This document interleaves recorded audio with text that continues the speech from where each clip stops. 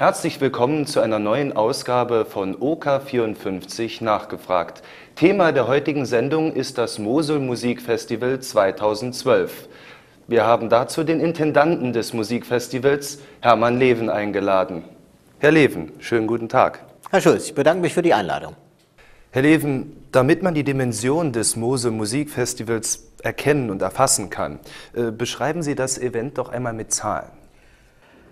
Nun, Herr Schulz, wir haben 1985 die Idee gehabt, an der Mosel ein klassisches Musikfestival zu etablieren. Zu der damaligen Zeit gab es keine Klassik-Sommerfestivals in Deutschland.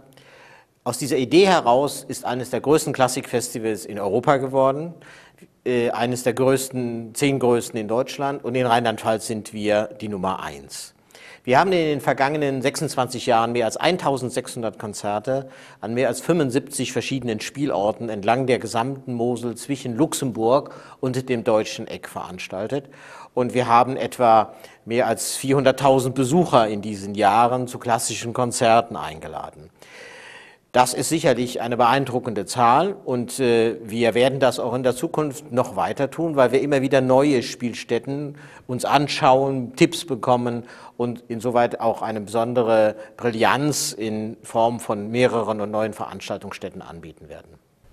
Nun, welche Tradition steht denn hinter diesem Festival?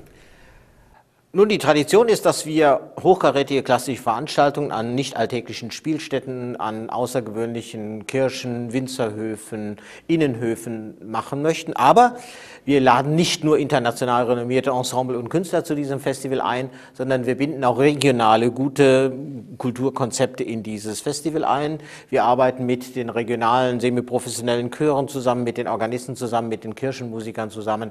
Ich denke, das ist dieser Mix zwischen dem, was von draußen außen an die Mosel kommt und auch exemplarisch zeigt, was ein internationales Niveau hat und dem, was vor Ort gewachsen ist, was wir auch dann gerne unterstützen und weiter professionalisieren. Herr Leven, wann findet das Festival denn jetzt genau statt? Nun, das Festival findet immer statt zwischen Anfang Juli und dem 3. Oktober, dem Tag der deutschen Einheit, also quasi drei Sommermonate. In diesem Jahr starten wir am 1.7. um 17 Uhr in der Konstantin-Basilika in Trier mit einem großen symphonischen Konzert. Zu Gast ist die Deutsche Radiophilharmonie Rheinland-Pfalz. Es dirigiert Karl-Heinz Steffens, der in Trier geboren wurde, in Wittlich aufgewachsen ist, lange Jahre Soloklarinettist der Berliner Philharmoniker war, mittlerweile einer der renommiertesten internationalen jungen Dirigenten ist. Und er gibt sein Dirigentendebüt in seiner Geburtsstadt Trier, mit dabei der Trierer Bachchor, ein grandioses Programm mit äh, grandiosen Orchester- und Chorwerken, Haydns Paukenmesse unter anderem. Und wir freuen uns sehr, dass er sein Dirigentendebüt als Trierer Jung sozusagen bei der Eröffnung des diesjährigen Mosel Musikfestivals in der Basilika in Trier gibt. Herr Leven, nun ist die Bandbreite ja sehr enorm.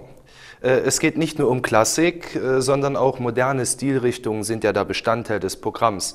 Ähm, wie breit ist denn das Programmangebot? Nun, wenn Sie so wollen, haben wir drei Säulen, die das Programm widerspiegeln. Das eine ist die Säule großer Orchester und oratorischer Werke in Sakralbauten, im Dom, in der Basilika, äh, in verschiedenen Kirchen. Das andere ist der kammermusikalische Schwerpunkt, den dieses Festival seit 25 Jahren hat weil wir an der Mosel wunderbare kleine, feine Kammermusikkonzertsäle haben. Also wir machen auch Kammermusik in der Kammer. Das zeichnet auch die, dieses Festival in besonderer Weise aus, weil die Besucher hier sehr intim Musik erleben können, sehr nah an den Künstlern, an den Ensembles ist. Und das ist auch etwas, was den Künstlern sehr viel Spaß macht, dass sie hier quasi Klassik anplagt, sehr intim an das Volk heran, an ihre äh, Freunde heranbringen können. Und diese besondere Intimität, das zeichnet dieses Festival aus. Und das dritte, die dritte Säule, na, ich benutze das Wort nicht gerne, das ist sozusagen die Event-Klassik. Das heißt, die großen Open Airs haben auch einen sehr unterhaltenden Charakter in den Inhalten. Internationale Bress-Ensembles bringen hier ihre Konzerte zu Gehör, die alle mit sehr viel Spaß, aber hohem Können verbunden sind. Götz Alsmann kommt alle zwei Jahre mit seinem neuen Programm in den Innenhof des Kurfürstlichen Palais. Und in diesem Jahr in besonderer Art und Weise präsentieren wir einen der weltberühmtesten Organisten, Cameron Carpenter, mit einer digitalen, sakralen Kirchenorgel, draußen im Innenhof des Kurfürstlichen Palais hinter der Basilika und man erlebt zum ersten Mal unter freiem Himmel große Orgelwerke und ich denke, das ist etwas ganz Besonderes. Das ist auch so ein Markengrund, so ein besonderer Nukleus innerhalb unseres Festivalprogramms. Das Besondere sind die ausgewählten Spielorte, die Sie auch eben angesprochen haben, in der gesamten Region. Was sind denn so die schönsten und interessantesten Locations für Sie persönlich? Nun, ich habe Ihnen eben schon mein, in der Euphorie meines äh, Vortrages gesagt, dass der Innenhof des Kurfürstlichen Palais einfach ein wunderbarer Raum auch ist. Nicht nur ein Platz, er klingt auch durch die Geschlossenheit die hohe Wand der Basilika, die Rückwand der Basilika, dann das kurfürstliche Palais drumherum.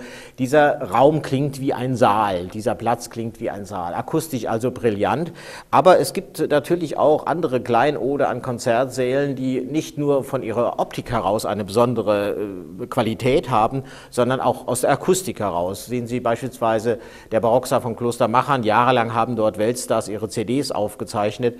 Ich sage immer, dieser Saal hat vom Ton her einen goldenen Schnitt und äh, das äh, zeigt sich nicht nur in der Beliebtheit dieses Saals oder dieser Säle bei unserem Publikum, sondern auch bei den international renommierten Künstlern, die wir einladen. Diese Künstler wissen, wenn sie an die Mosel kommen, wenn sie nach Trier kommen, wenn sie nach Bernkastel kommen, wenn sie nach Kochum kommen, sie wissen, wir finden hier wunderbare Konzertorte vor, die auch in einer gewissen Verantwortung zur Literatur, die an dem Abend oder an dem Tag gespielt wird, ausgewählt werden. Da gilt bei uns so das Ganzheitsprinzip von Erleben zwischen Raum, Klang, als auch dessen, was auf der, Mosel, äh, was auf der Bühne passiert, Entschuldigung.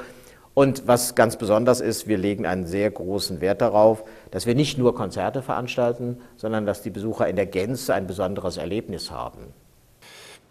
Auch wenn es jetzt schwer ist für Sie, äh, was sind aus Ihrer Sicht als Intendant so die absoluten Höhepunkte dieses Festivals? Na, ich denke, es gibt äh, natürlich äh, persönliche äh, Highlights, äh, wo man sich, äh, ich sage immer, wo man auch selber Eintritt bezahlen würde, ja, innerhalb eines eigenen Festivals. Aber da die Bandbreite so, so groß ist, muss ich versuchen zu selektieren. Also bombastisch und beeindruckend sind natürlich Konzerte in den Großräumen wie beispielsweise der Basilika Trier oder auch dem Trierer Dom oder wie gesagt in Kloster Machern. Äh, ich persönlich freue mich in diesem Jahr auf eine barocke Sommernacht mit Martin Stadtfeld im Innenhof des Kurfürstlichen Palais, wo wir zum ersten Mal ein Klavierkonzert, also es werden drei Bachsche Klavierkonzerte mit Orchester aufgeführt. Dazu gibt es zum Abschluss ein Brillantfeuerwerk mit barocker Musik im Palastgarten. Also da ist dieser Aspekt des Mehrerlebens als nur Konzert hören wirklich sich, äh, dort spiegelt sich das äh, fantastisch wieder. Und es gibt eine neue Konzertform. Äh, wir versuchen ja immer auch etwas Neues in dieses Programm hineinzubringen, indem wir in diesem Jahr zum ersten Mal eine sogenannte GTI Classic Launch platzieren. Äh, wir möchten insbesondere Jüngere an dieses klassische Musikfestival heranführen und da muss man sich natürlich auch Gedanken machen über neue Konzertformen. Und über, mit dem äh, Thermenmuseum am Viehmarktplatz äh, mit der wunderbaren Ungarsarchitektur, 2000 Jahre Welten sozusagen, ergibt sich natürlich eine Location, die besonders prädestiniert scheint für eine besondere Veranstaltungsform. Wir werden dort eine Classic Lounge einrichten, das heißt, die, das Thermmuseum wird besonders möbliert mit Lounge-Möbeln. Es gibt Theke, Cocktailbar, Weinbar und wir haben zu Gast äh, das Antrio aus Amerika. Das sind äh, drei wunderbare, zudem auch noch sehr hübsche Musikerinnen. Äh, ein Klaviertrio, die klassisches Repertoire spielen, aber auch äh, Kompositionen, die eigens für sie geschrieben wurden, präsentieren werden. Wir haben einen DJ eingeladen. Das heißt, es gibt 15 äh, Minuten, 20 Minuten klassisches Klaviertrio dann legt der DJ auf, ungezwungenes Verhalten, man kann miteinander sprechen, man kann wandeln. Und äh, diese neue Konzertform ist sicherlich einmalig in Trier und ich freue mich darauf sehr. Bin gespannt, wie viele junge Leute kommen. Ich weiß schon, dass eine Reihe von Leuten Eintrittskarten gekauft haben. Spannend finde ich auch, dass auch teilweise das reife Publikum ein Interesse an dieser Veranstaltung hat. Insofern wird es ein Generationenmix werden, also sehr spannend. Ja, viele Veranstaltungen haben bereits aus den Vorjahren eine gewisse Tradition. Äh, was ist jetzt doch dieses Jahr neu hinzugekommen? Nun, neben dem Wandelkonzert im äh, Rheinischen Landesmuseum ist diese GTI-Lounge, also dieses besondere klassische Lounge-Erlebnis äh, in einer außergewöhnlichen Konzertform, sicherlich das, was neu ist. Ansonsten haben wir aber auch festgestellt, dass liebgewordene Traditionen tatsächlich äh, immer wieder auch erwartet werden. Ja, das sind die Kammermusikreihen, das sind die Open Airs, das sind die Kirchenkonzerte. Aber ich denke, im ganzen Mix gelingt es uns immer wieder jedes Jahr auch neue Spielstätten zu finden und sie neu zu aktivieren zu einem besonderen klassischen Erlebnis. Wo können sich unsere Zuschauer über dieses detaillierte Programm des Mose Musikfestivals 2012 denn informieren? Nun, Sie schauen ja OK. Dort werden Sie natürlich immer optimal informiert. Für all diejenigen, die es gerne geprintet, wie das so heißt, zu Hause gerne hätten, gibt eine wunderbare Broschüre, die können Sie bei dem Mose Musikfestival in Bernkassel-Kues telefonisch, schriftlich oder per E-Mail äh, anfordern. Die schicken wir Ihnen kostenlos zu. Zudem gibt es die Eintrittskarten sehr einfach, sehr bequem über Ticket Regional oder an Ihrem häuslichen Computer zum Selbstausdrucken zu Hause, platzgenau. Sie können auch dann von zu Hause aus bezahlen und an den bekannten üblichen Vorverkaufsstellen halt. Und äh, Sie können das aber auch telefonisch machen in Bernkastel-Kues unter der 06531 3000. Dort haben Sie dann auch einen Telefonservice. Und wenn es noch Karten an den Abendkassen der mehr als 50 Konzerte gibt, dann ist diese Abendkasse eine Stunde vorher geöffnet und an den Abendkassen gibt es dann auch die Eintrittskarten. Es gibt in diesem Jahr einen besonderen Service, was die Open-Air-Konzerte betrifft. Wir haben ja als Mose Musikfestival seit Jahren den Standard, nenne ich das mal, dass wir etwa drei, vier Stunden vorher entscheiden, nach Wetterlage, finden diese Konzerte draußen statt oder werden sie regensicher, wettersicher nach innen verlagert. Es gibt zu allen Konzerten eine Regenalternative. In der Regel ist das, was die großen Konzerte im Innenhof des Kurfürstlichen Ballets betrifft, die Europahalle in Trier. Bei etwa klassischeren, sakraleren Konzerten ist es die ehemalige Abteikirche St. Maximin.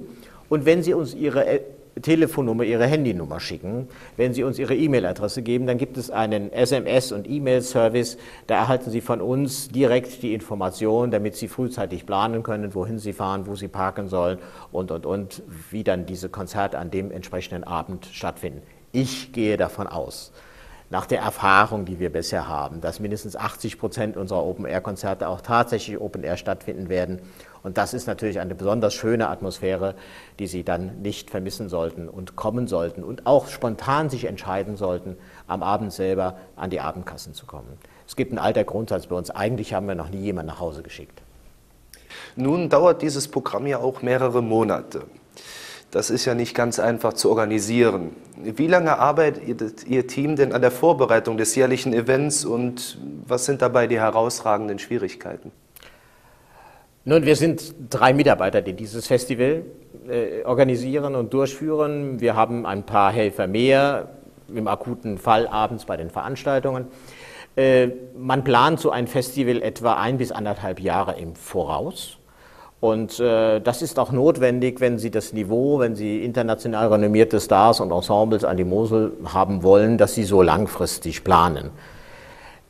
Das ist eigentlich, nachdem wir das jetzt 26 äh, Jahre machen, gutes Handwerk geworden. Wir haben Tausende von Kontakten international. Und äh, die Schwierigkeit ist sicherlich, dass wir äh, planen müssen, obwohl wir teilweise noch nicht die finanziellen Zusagen äh, unserer Partner, der Kommunen, des Landes Rheinland-Pfalz, die dieses Festival ja Gott sei Dank unterstützen haben. Insoweit ist immer ein unternehmerisches Risiko mit verbunden.